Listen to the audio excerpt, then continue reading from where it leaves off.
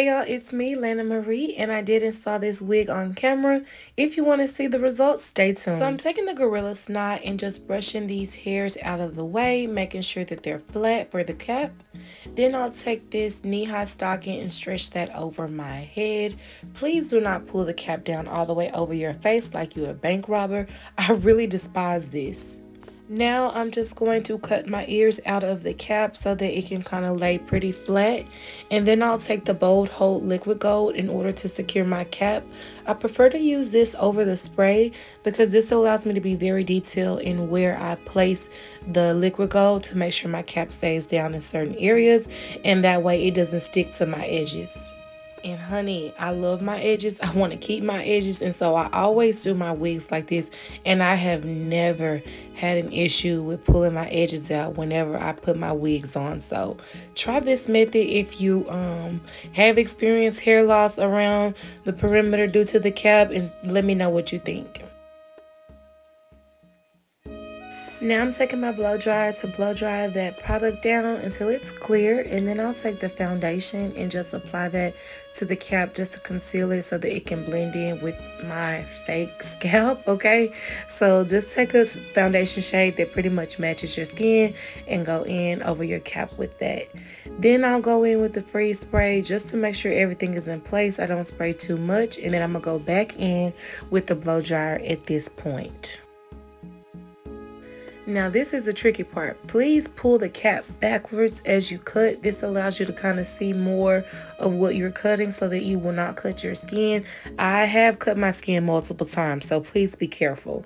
Now I'm taking the Bold Hold lace glue and I'm applying my first layer with the wood stick. A lot of times I apply with my finger. I was on here trying to be professional even though I didn't even set the video up like a professional. I just wanted to go ahead and record. Now you see I have that hole in my um, stocking cap, that does not matter. I've seen people with way worse stocking cap methods, but this is my method. Do what works for you. My installs last as much as I need them to, so I never had an issue with my cap being like messed up or messy. Okay, so here is the beautiful wig. It was a 28 inch wig and I love it so much. So I'm just starting off by placing it in the center where I have my part. I did part and pluck and hot comb this off camera. Um, if you guys want a tutorial like that, please comment down below.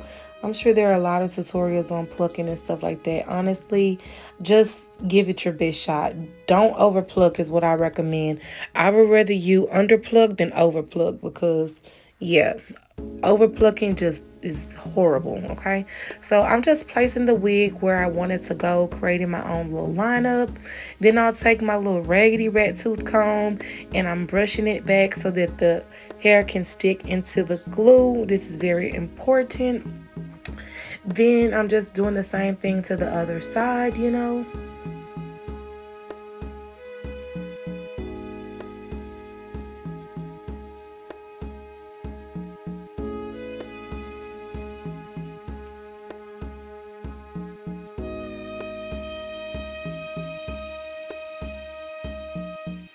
Now I'm just taking an elastic band and tying this down before I cut the lace off just so that the lace will be stuck in place prior to me cutting and then I will go back in with any glue if any parts are lifted once I actually cut it off. Okay, so at this point, I was really feeling myself, baby, because scalp is what it's giving. Yes, ma'am. Okay, so now in all seriousness, I'm going to go ahead and cut the excess lace off. Never cut your lace in a straight line. I typically go in like a jagged motion, and I never have a problem with my lace looking, you know, too detectable. Now, BFFR, this is a lace wig. It's not going to look like scalp because it is not scalp.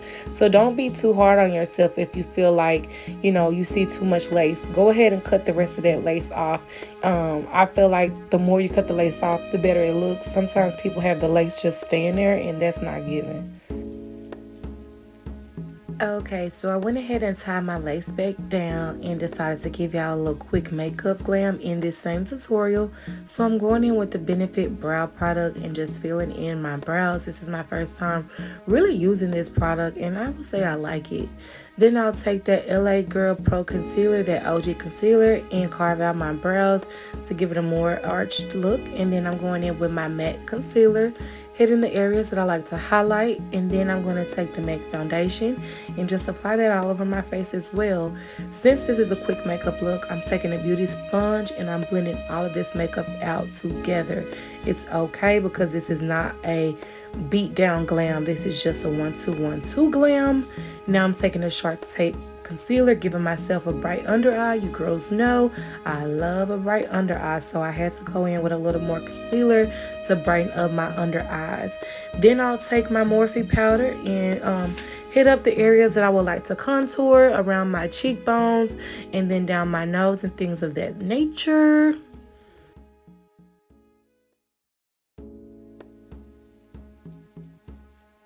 I am taking the same contour shade and I'm applying that all over my lids.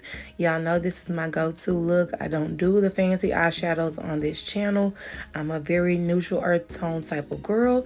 Taking that Morphe spray and spraying my face down. And at this point, I was really feeling myself. I'm going in with the Trophy um, Wife Highlighter by Fenty Beauty. Shout out to Rihanna. This is the best highlight.